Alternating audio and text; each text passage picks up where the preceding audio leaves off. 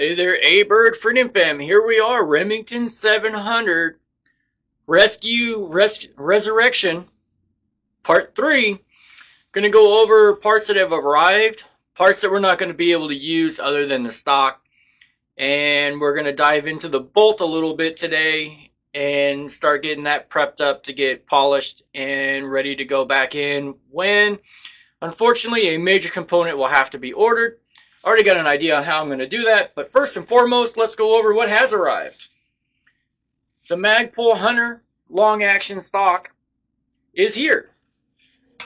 Also, the floor plate that it's going to allow us, or me, the chance and the opportunity to go ahead and run 30 odd 6 from a box magazine when we get the final, well, the rough up assembly and then the final assembly, assembly ready to go on this rifle.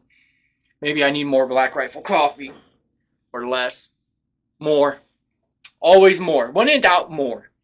Okay, so that's good news. But project ran into a snag. Unfortunately, I'm not able to get my borescope to get me really good footage to use. Otherwise, I would put it in the video. What I have done though and I'm not sure if it's going to show with the lighting on the bench. Yes, it will. I can see it in the monitor right there that you can't see. To take a quick little interlude. Customer came in. Not the end of the world. That's what we're here for. So, like I was saying, this barrel, where it's got the X in the circle, that's right about where the bore, bore camera stopped. And um, it's not going to be able to be used, so I will be doing the Savage Style lock nut Remage barrel for a 700. I haven't done one of those. I have done some 700 barrels, and it's going to be a lot easier. Probably just do a 24 inch hunter profile bull style barrel. It won't be as big as this bench rest barrel, but enough of that. So on to the bolt.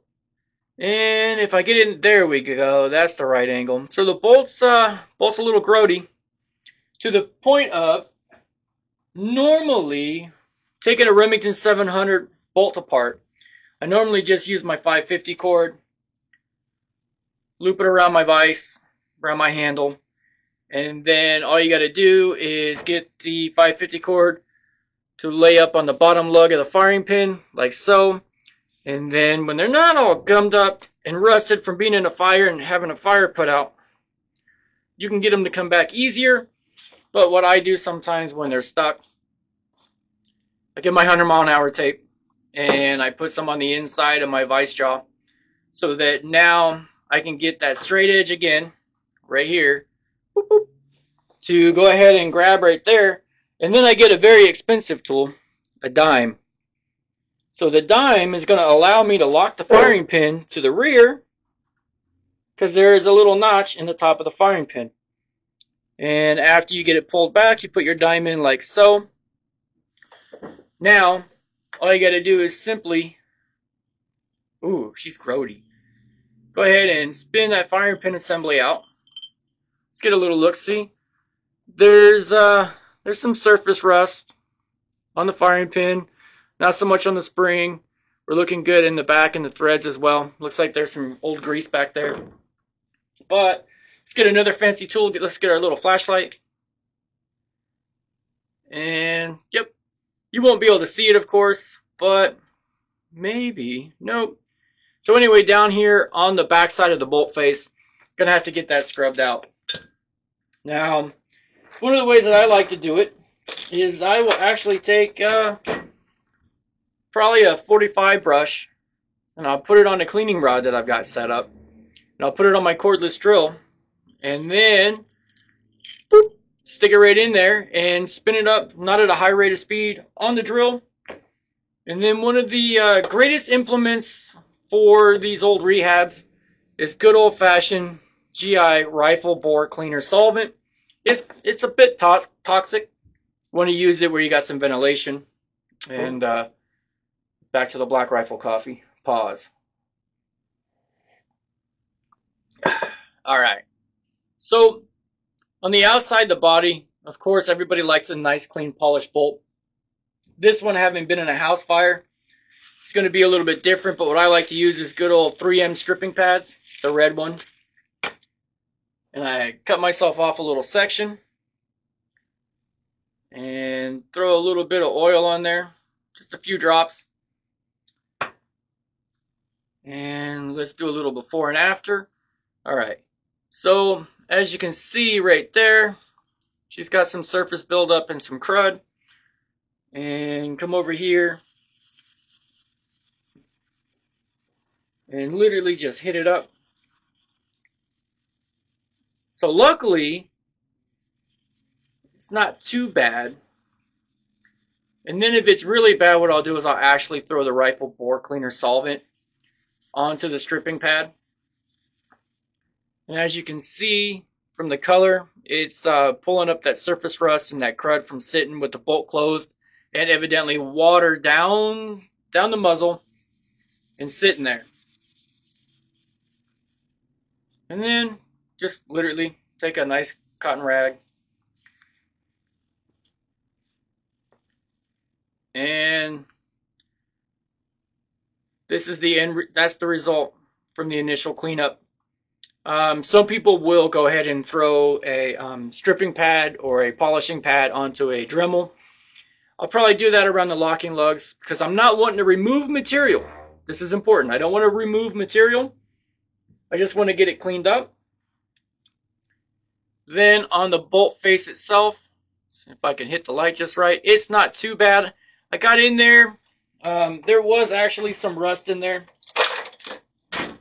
Got in there with a good old carbon scraper or a dental pick and went ahead and got the rough stuff out. So what I like to do is I like to flip it so that it's got the bevel up and use the flat side. And then that way I can get the gross contamination out of the extractor ring and just run it across the bolt face like so.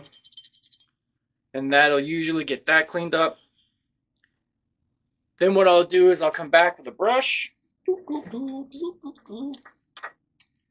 And uh, I try to stick with an AP brush if I can.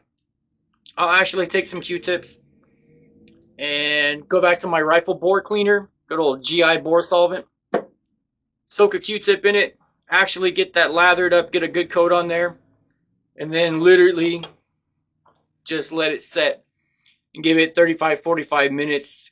Come back in and just go after it like I don't like it. And then get in there and clean it all out again. And then after that phase is done, then I'll be lined up to go ahead and pull what appears to be a broken extractor, or it even looks like they might have taken the extractor and ground it down. Because remember back in the first part of this little series, it was set up so that when you pulled the bolt to the rear, it didn't take your brass and fling it out of the chamber. You had to actually pick your brass off of the bolt face. Um, bench rest rifle makes total sense. These guys are very precise about the reloading. They also want to get a good look at their brass without denting it. So this is part three. Stock is here, floor plate is here with the magazine. Unfortunately, the borescope told us we're not going to be able to use the super heavy duty double throw me down badass bench rest barrel. That's okay, so we're going with the Remage. Now, I don't know how much of this, how much further I can really go in and showing different stuff um, without getting strikes and whatnot on YouTube. So what I will do is I'll go ahead and I'll get the bolt all cleaned up, and then when we come back for the fourth installment, the barrel will be clean. The barrel will be removed. Um, nobody. That's just we're literally going to twist the barrel off the receiver using a barrel vise and a Allen wrench. But next episode we'll go into cleaning up the receiver, cleaning up the trigger. I might actually I have some other Remington 700 takeout triggers that were replaced with Timney's and whatnot. I might put one just a stock trigger in it and then we'll be ready to clean up the receiver, and hopefully shortly thereafter, the um, Remage Savage Style barrel will be here, and we can go ahead and get that ready to go on, do our initial fitment, do our um, headspace using our headspace gauges. I'll go ahead and show that. I think I've seen that on YouTube, so it should be good. And uh, we'll move on from there because I'm not building a rifle. I'm rehabbing a rifle. So everybody stay safe, stay good, stay American. And as always, hydrate.